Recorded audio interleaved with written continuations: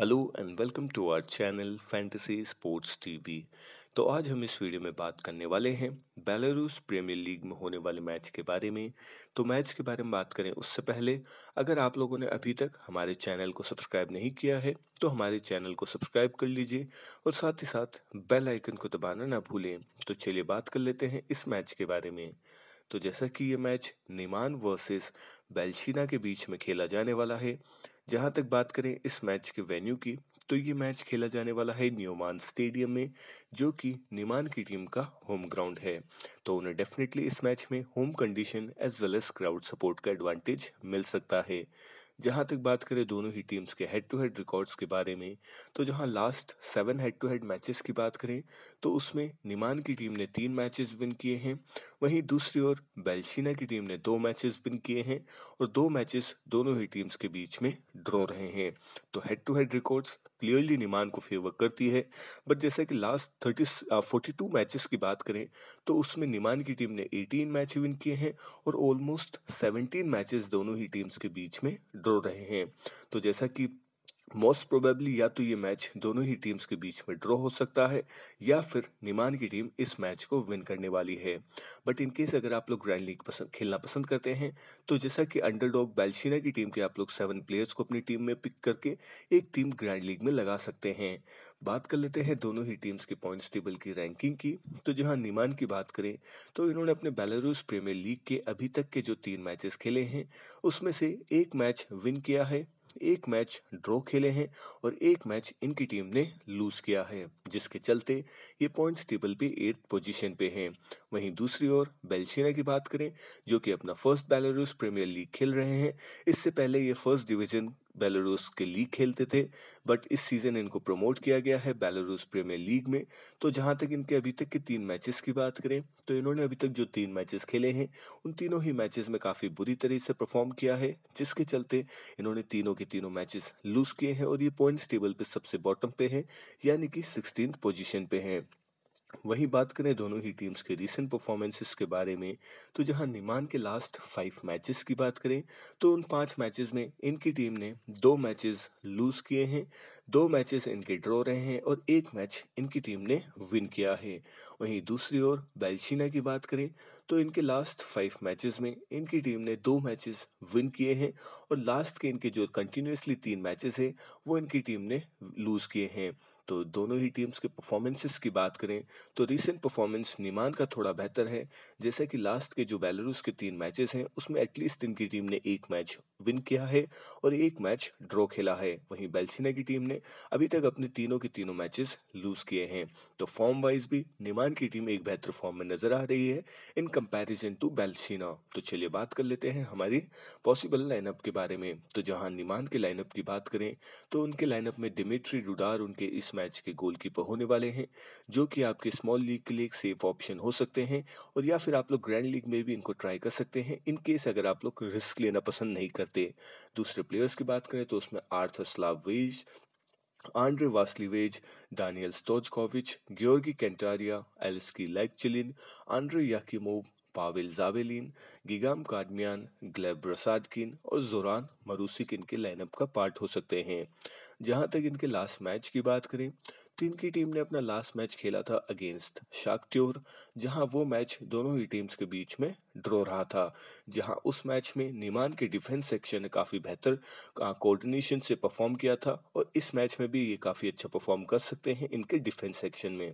जहाँ तक missing players की बात करें तो इनके लाइनअप में व्लादिस्लाव आर्थर और वॉडम्योर कोवाल इस मैच के लिए डाउटफुल है और शायद इनको इस मैच में मौका भी ना मिले। जहाँ तक बात करें टीम फॉर्मेशन की तो इस मैच के लिए इनका टीम फॉर्मेशन हो सकता है फाइव थ्री टू का, जहाँ इनकी तरफ़ से ग्लैब रसादकिन और जोरान मरूसिक इनकी टीम के दो मेन स्ट्राइकर्स होने वाले हैं। जहाँ तक टीम से बेस्ट पिक की बात करें तो कैंटारिया और कार्डमियन अभी तक इनकी टीम के दो लीडिंग गोल स्कोरर हैं, जहाँ इन दोनों ही प्लेयर्स ने अभी तक एक एक गोल ऑलरेडी कर चुके हैं और काफ़ी इंपॉर्टेंट हो जाते हैं आपके कैप्टन वाइस कैप्टन के पिक के तौर पे। दूसरे प्लेयर्स की बात करें तो उसमें रसादकिन डिमिट्री इवानोव। हालाँकि इवानोव को अभी तक एक भी मैच में मौका नहीं मिला है बट इनकेस अगर इस मैच में खेलते हैं तो काफ़ी इंपॉर्टेंट प्लेयर हैं और इनकी टीम के one of the most talented player भी हैं। तो अगर ये इस मैच को खेलते हैं तो आपके कैप्टन की काफ़ी इंपॉर्टेंट पिक हो जाते हैं। फिर उसके बाद कोवाल, स्टोजकोविच और एलिस की लेक्चलिन इनकी टीम के कुछ इंपॉर्टेंट प्लेयर्स हैं, जिन्हें आप लोग अपनी टीम में ट्राई कर सकते हैं। बात कर लेते हैं बेल्शिना के पॉसिबल लाइनअप के बारे में। तो जैसा कि उनके अभी तक के जितने भी मैचेस हुए हैं, इनके गोलकीपर सेक्शन में इनकी टीम ने काफ़ी सारे चेंजेस किए हैं। जैसे कि लास्ट मैच में इन्होंने एल को खिलाया था बट उनका परफॉर्मेंस इतना अप टू द मार्क नहीं था, जिसके चलते शायद ये इस मैच में टुरानोक को वापस से ला सकते हैं एज ए गोल अपनी टीम में। तो अभी के लिए इनके गोलकीपर सेक्शन थोड़ा डाउटफुल है। या तो सर्जी खेलेंगे या फिर इनके गोलकीपर सेक्शन में एल को मौका मिल सकता है। दूसरे प्लेयर्स की बात करें तो उसमें Nikita Rochev Vladislav Yakuvich Samuel Odiabo Konstantin Mikhail Bashilov Evgeny Skobilov फिर Pavel Bordukov Andrei Beznov Leonid Kovel और रोमन सालिमोव इनके लाइनअप का पार्ट हो सकते हैं। जहाँ तक बात करें इनके लास्ट मैच की तो इनकी टीम ने अपना लास्ट मैच खेला था अगेंस्ट गोरोडिया जहाँ उस मैच को इनकी टीम ने 1-0 से लूज किया था। जहाँ उस मैच में ना तो इनका डिफेंस ने अच्छे से वर्क किया, ना ही इनके अटैकिंग सेक्शन ने ज़्यादा बेहतर परफॉर्म किया। जहाँ तक बात करें टीम से मिसिंग प्लेयर्स के बारे में तो जहाँ साइको और ग्लैब को दोनों ही प्लेयर्स इस मैच के लिए डाउटफुल हैं बट जैसे कि इनकी टीम इतना अच्छा परफॉर्म नहीं कर रही तो मे बी इनकी टीम में काफ़ी सारे चेंजेस हो सकते हैं और मे बी ग्लैबगो को वापस से इस मैच में मौका मिल सकता है। जहाँ तक बात करें इनकी टीम फॉर्मेशन की तो इस मैच के लिए इनका टीम फॉर्मेशन हो सकता है फोर फोर टू का जहाँ इनकी तरफ़ से लियोनिड, कोविल और रोमान सालिमोव इनकी टीम के दो मेन स्ट्राइकर्स होने वाले हैं। जहाँ तक टीम से बेस्ट पिक की बात करें तो जैसा कि इनकी टीम ने अभी तक जो तीन मैचेस खेले हैं, उसमें इनकी टीम ने सिर्फ़ एक ही गोल कर पाए हैं, जिस, जो कि गोल किया है इनकी तरफ़ से कोवेल ने, जो कि आपके लिए इंपॉर्टेंट भी हो जाते हैं। फिर दूसरे इंपॉर्टेंट प्लेयर्स की बात करें तो उसमें रोमान सालिमोव, स्कोबिलोव और व्लादिसाव कुछ इंपॉर्टेंट प्लेयर्स हो जाते हैं, जिन्हें आप लोग अपनी टीम में ले सकते हैं। बात कर लेते हैं हमारे प्रिडिक्शन की।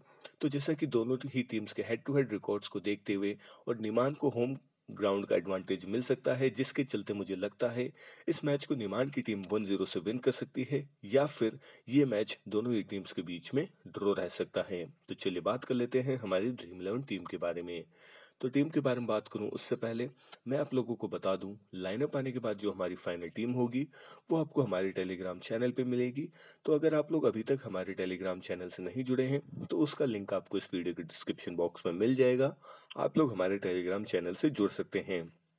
तो जहाँ तक गोलकीपर सेक्शन की बात करें तो जैसे कि मैंने बताया है, अगर आप लोग सेफ़ जाना चाहते हैं तो मे भी आप लोग निमान की टीम के गोलकीपर जो कि हैं डुडार, उनको अपनी टीम में एज ए गोलकीपर पिक कर सकते हैं। बट इन केस अगर आप लोग ग्रैंडली खेल रहे हैं, या फिर थोड़ा रिस्क लेना पसंद करते हैं तो एज ए गोलकीपर के तौर पर आप लोग टुरान कोव को ले सकते हैं अगर खेलते हैं, या फिर एल को अपनी टीम में ले सकते हैं अगर ये इस मैच को खेलते हैं। जहाँ तक डिफेंडर सेक्शन की बात करें तो जैसे कि आपको पता है, निमान की टीम का डिफेंस ने ज़्यादा अच्छे से वर्क किया है इन कंपैरिजन टू इनका स्ट्राइकर सेक्शन। तो अभी के लिए मैंने कोशिश की है कि डिफेंडर सेक्शन से ज़्यादा प्लेयर्स को पिक करने की। तो अभी के लिए जो मैंने चार डिफेंडर्स लिए हैं, उसमें मैंने लेग चिलिन को लिया है स्लावेविश को लिया है फिर उसके बाद यासु कैविश को लिया है और मैंने वासली वेज को अपनी टीम में पिक किया है। दूसरे बेहतरीन ऑप्शंस की बात करें तो मे भी आप लोग चाहें तो स्टोजकोविच को अपनी टीम में ले सकते हैं बट जैसा कि मैंने बताया है वासली जेव इनकी टीम के ज़्यादा बेहतर प्लेयर हैं इन कंपेयर टू स्टॉचकोविच जहाँ वासली वेज के पास ज़्यादा एक्सपीरियंस है मैचेस का।